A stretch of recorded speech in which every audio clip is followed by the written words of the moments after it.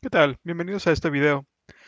Al inicio de esta serie de videos de Jenkins vimos cómo cambiar el idioma usando el navegador, pero gracias a un comentario dentro de los mismos videos, ahora vamos a usar un plugin que se llama Locale. Entonces vamos a- al administrador de Jenkins, Manage Jenkins, vamos a la sección de plugins, vamos a los disponibles y vamos a buscar Locale. Locale.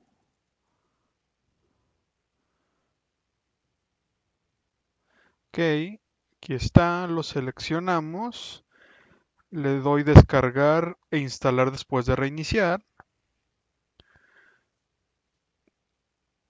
Después voy a reiniciar, ya que ya se ha descargado, voy a reiniciar Jenkins.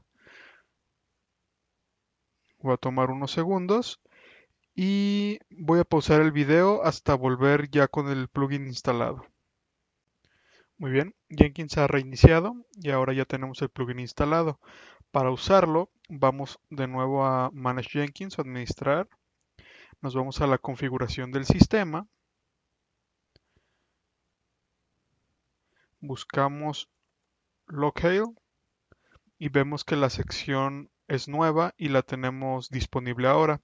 Este campo de Default Language es el que vamos a usar para, para especificar el lenguaje. Ahora, ¿cómo sabemos qué poner aquí?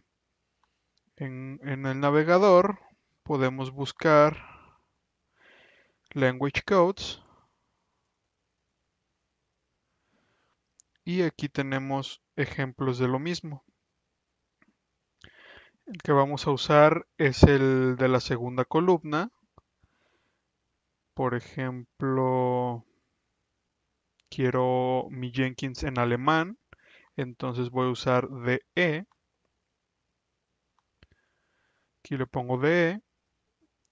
Voy a ignorar el lenguaje del navegador y voy a guardar. Y ahora como pueden ver, toda la interfaz gráfica de Jenkins está en alemán. Todos los menús. Los tooltip text también. Voy a cambiarlo a español. Me voy de nuevo a la configuración del sistema.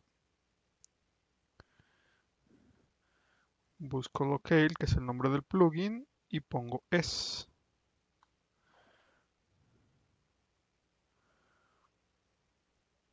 Y como pueden ver ahora la interfaz ya está en español.